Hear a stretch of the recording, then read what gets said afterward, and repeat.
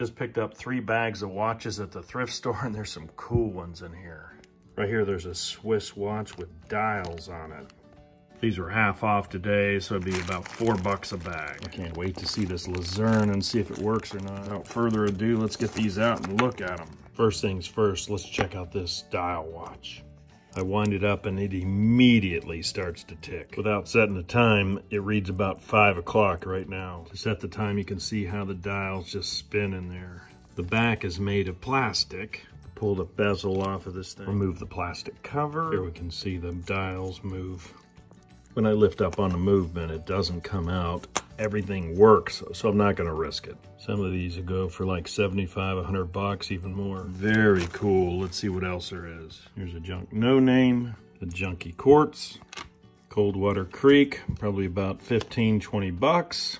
An Armatron from Kmart, not worth anything. Here's a carriage. They're made by Timex. It'd be a quartz, pretty decent condition. If cleaned up, like 15 or 20 bucks. Here's a junk no name, Timex Indiglo. Now this one would be like a $40 watch. Here's a Magna. Looks like a cheap watch, but it's a pretty decent brand. This one would probably be 15 or 20 bucks. At the bottom we have some Speidel bands, which look in decent shape. We'll go for the next one. We've got a Citizens and an Ironman Timex right on top. We'll dump these out and take a look. This one's a junky one.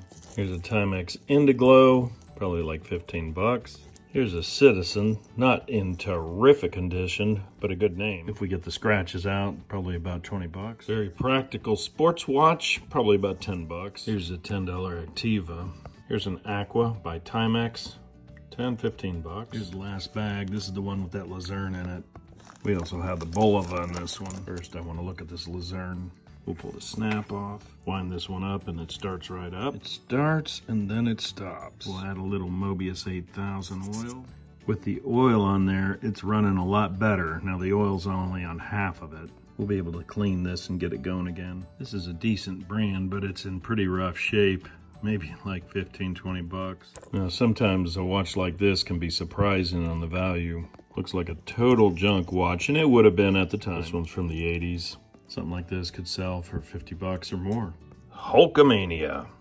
Here's a decent little watch. Needs new band. Wind it up and it starts right up. You can see that second hand float across. When you pull the back off, it looks like an old Timex. With a new band, this one's in good shape, like 30 bucks. Here's a fashion watch, Wincy, probably like 10 bucks. This one's pretty cool. Wind it up, an old Timex, and it just starts ticking. Nice, good size. Pull the back off, and that thing's just going like gangbusters. With a band, this one's really cool. Nice and big, good shape. 25 or 30 bucks. Here's a Britannia Quartz like 10 bucks. Now this is a good shaped bullet. Now this one's not made out of gold, but it'd be like a 50 or $60 watch. Some of these are really pieces of artwork. So much fun. You never know what you're gonna find in these old bags of watches.